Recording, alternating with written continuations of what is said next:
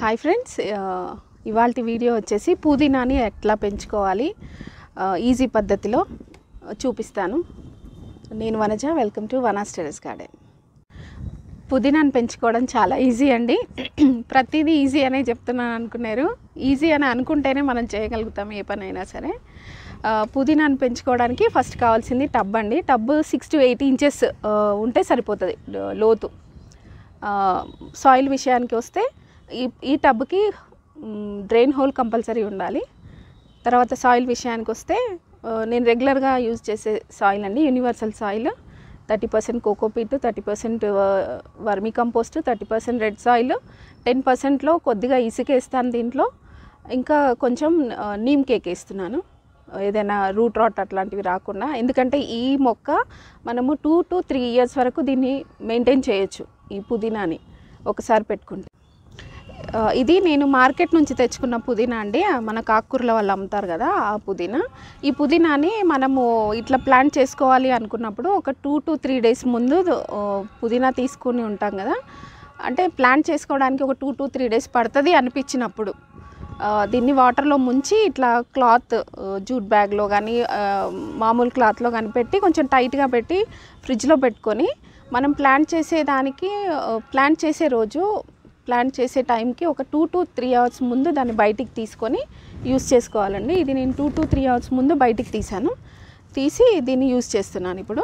కానీ ఇప్పుడు ఎట్లా నాటుకోవాలో చూపిస్తాను. మనం మార్కెట్ నుంచి తెచ్చిన తర్వాత ఇవి ఇవ్వండి నేను బయట పెట్టుకున్నాను. ఫ్రిడ్జ్లోంచి తీసి నేను తీసుకొని త్రీ డేస్ అయింది. వీటికి ఇట్లా నోట్స్ ఉంటాయి. ఈ నోట్స్ దగ్గర కింద ఉన్న టూ లీవ్స్ని మనం కట్ చేయాలి. ఈ టూ లీవ్స్ని ఇక్కడ దీన్ని చేయితో తీయొచ్చు తీస్తే ఆ స్టెమ్ అనేది డ్యామేజ్ అవుతుంది డ్యామేజ్ అవ్వకుండా ఇట్లా కట్ చేసుకోవాలి. ప్రతిదీ ఇట్లా కట్ చేసుకుంటే ఈ టూ నోట్స్ ఉన్న వాటిని కట్ చేసుకొని భూమిలో పెడితే మనకు హండ్రెడ్ పర్సెంట్ జర్మినేషన్ ఉంటుంది.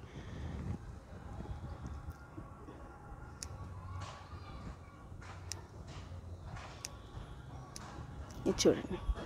ఇట్లా కొంచెం హెల్దీగా ఉన్న స్టెమ్ని తీసుకోండి. ఇప్పుడు నేను ఫ్రిడ్జ్లో నుంచి తీసుకున్నాను కదా ఆల్రెడీ నాకు ఇక్కడ రూట్స్ ఫామ్ అయిపోయినాయి. అంటే దీనికి ఎక్కడ నోట్స్ ఉంటాయో అక్కడ రూట్స్ ఫామ్ అయిపోతాయి. అందువల్ల ఇది తొందరగా జర్మినేషన్ కూడా తొందరగా వస్తుంది. టెన్ డేస్ లోపు మనకి ఇది కనిపిస్తుంది పువ్వు చిగురు రావడం పైనుంచి.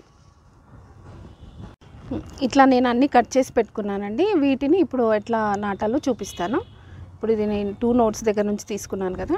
ఇప్పుడు కింద ఉన్న బ్లాక్ పార్ట్ అంటే కొంచెం మురిగిపోయి నల్లగా అయ్యి ఉంటుంది కదా అక్కడ వరకు కొంచెం కట్ చేసుకోవాలి.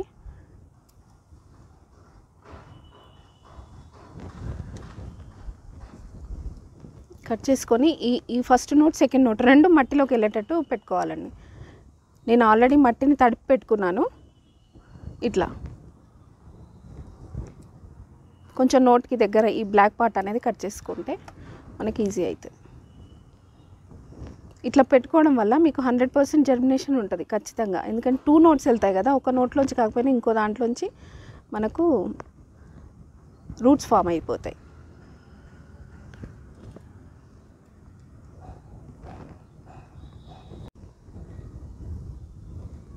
ఇది పెరెన్యల్ ప్లాంట్ అండి. ఒక్క చోట పెడితే అట్లా స్ప్రెడ్ అయిపోతుంది. దీనికి ఒకసారి పెట్టినామంటే మనము టూ టు త్రీ ఇయర్స్ వరకు ఇది మనకి ఇస్తూనే ఉంటుంది. ఇది ఇట్లా ఇట్లా అండి. ఇది కొంచెం లేతగా ఉన్నప్పుడే ఇక్కడ వరకు స్టెమ్స్ వరకు అంటే మరీ లోపల నుంచి వేర్లు వచ్చే వరకు తీయొద్దు. ఇట్లా తీస్తూ ఉంటేనే ఇది బుషి బుషిగా వస్తుంది.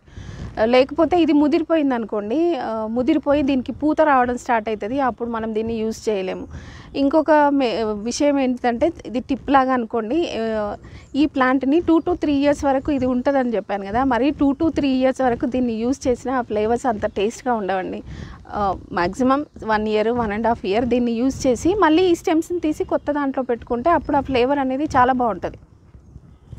ఇంకొక ఇంకొక విషయం ఏంటంటే ఈ ప్లాంట్స్ని మనము స్టెమ్ ద్వారా కాకు స్టెమ్ ద్వారా కాకుండా సీడ్స్ ద్వారా కూడా గ్రో చేసుకోవచ్చు. స్టెమ్ ద్వారా అయితే కొంచెం జర్మినేషన్ తొందరగా అవుతుంది మనకు పంట అనేది తొందరగా వస్తుంది. సీడ్స్ ద్వారా టైం టేకింగ్ కొంచెం ఎక్కువ టైం పడుతుంది. దీనికి పెస్ట్ అంటూ ఏది రాదండి. నార్మల్గా అన్నిటికీ ఇచ్చినట్టే మనం అన్నిటికీ రెగ్యులర్గా అన్నిటికీ ఎట్లా స్ప్రే చేస్తామో అట్లాగే స్ప్రే చేసుకోవచ్చు. కానీ ఇది పూర్తి సన్ లైట్లో ఉంటే ఒక్కొక్కసారి వడిలిపోయే అవకాశం ఉంది. అంటే మరి మరీ సమ్మర్లో పూర్తి ఎండలో పెట్టకుండా shady shady three to four hours ఎండ వచ్చినా పెద్ద ఎఫెక్ట్ ఏమి ఉండదు. ఇది దీన్ని వాటర్లో కూడా పెంచుతారు కిచెన్లో కూడా పెట్టుకుంటారు బాల్కనీలో కూడా పెంచుకోవచ్చు. చాలా ఈజీ గ్రోయింగ్ ప్లాంట్. ఇది మనం రోజు కూరలలో వాడతాము. ఇది హెల్త్కి చాలా మంచిది. చాలా బెనిఫిట్స్ ఉన్నాయి హెల్త్ బెనిఫిట్స్ దీంట్లో. నీళ్ళు మామూలుగా చేయి అడ్డం పెట్టి పోసుకోవచ్చు. ఎట్లయినా పోసుకోవచ్చు అండి ఇవి స్టెమ్సే కదా. ఇది ఎట్లా పెట్టుకోవాలి ఎట్లా నాటుకోవాలి ఎట్లా దీన్ని హార్వెస్ట్ చేసుకోవాలి చెప్పాను. ఇదండి పుదీనాని గ్రో చేసుకునే పద్ధతి.